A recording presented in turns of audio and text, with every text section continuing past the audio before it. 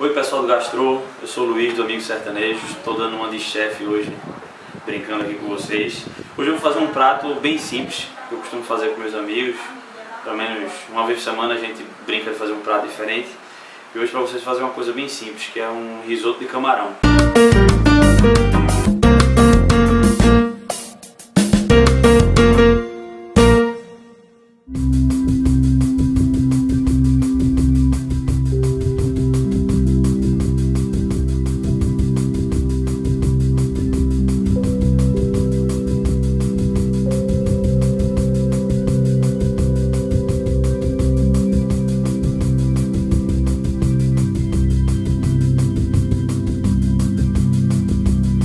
Botar um pouquinho de alho também. Já trouxe ele pronto também para facilitar a minha vida. Né? E vou botar logo o mix de, de pimentão. O verde com o vermelho e o amarelo.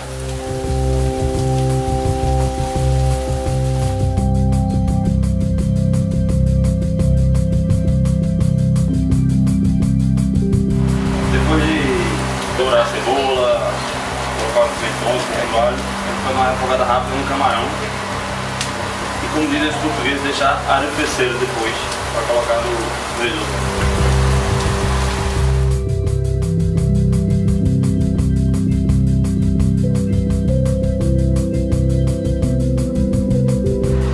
Começar a refogar a cebola.